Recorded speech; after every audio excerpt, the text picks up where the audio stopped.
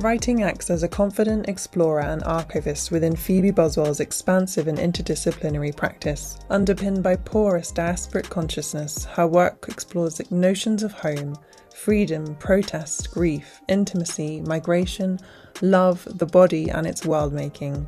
Using autobiographical stories as catalysts to contest histories, geographies, and imagine futures, it denotes a commitment of care for how we see ourselves and each other. She draws and writes and also spans the mediums of animation, sound, video, interactivity, and chorality to create layered immersive artworks, installations, visual essays, and performances which affect and are affected by the environments they occupy, by time, the serendipity of loops, and the presence of the audience.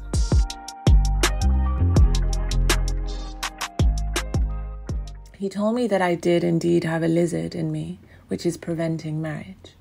It is called Genie Mahaba, the passion spirit.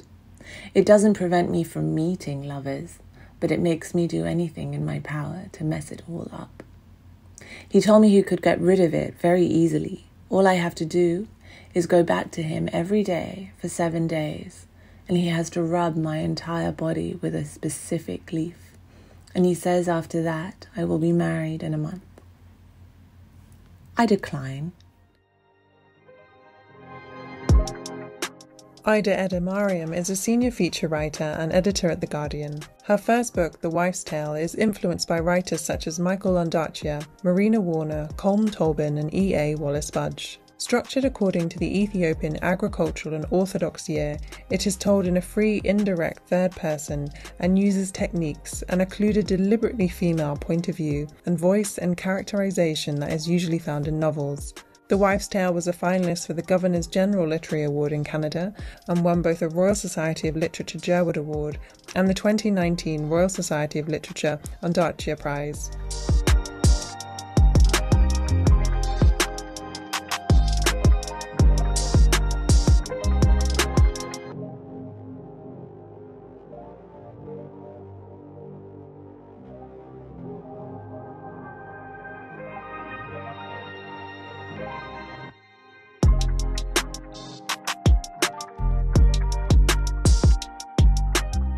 Gaia Holmes is a writer and author of three poetry collections Dr. James Graham's Celestial Bed, Lifting the Piano with One Hand, and Where the Road Runs Out, which charts the story of Gaia's journey to Orkney to provide emotional and palliative care for her father. It transports the reader to the edge of things, to remote, treeless islands, to dark, unfathomable minds, to the gaping maw of grief. With frailty and veracity, this book maps out the strange absences in our lives when a rupture occurs, like the sudden appearance of a sinkhole, threatening to pull everything else down with it. Gaia is currently working on her debut collection of short stories titled He Used to Do Dangerous Things. On glaciers, with thick sheets of glass between us. Already, you have forgotten me my name turns blue on your lips. At night, the hotel glows with its chandeliers of seal fat candles, and from the outside, you can see us. You can see through us. You can see our meaty hearts choking under traceries of frost. Saira Niazi is a London based writer, renegade guide, and founder of the Living London Project. Over the years, she has written extensively on the places and people that make up her home city. Her writing has been featured in various magazines and journals, including Huck, Time Out, and The New Statesman.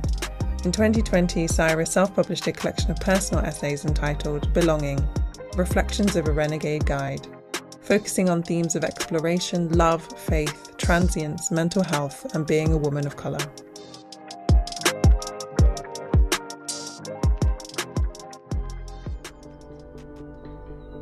So, A Wandering is an outdoor exploration which allows us to connect people to places, stories, and ideas, uh, and also to inspire mindfulness and creativity.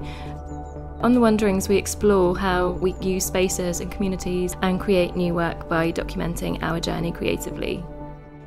So, a big part of the Wandering is to enable people access into spaces and to get them to explore the possibilities that surround these spaces. We've visited some really varied spots, including nature reserves, a yacht club, artist studios. Now has been the perfect opportunity to create these wanderings and to give people an opportunity to experience them.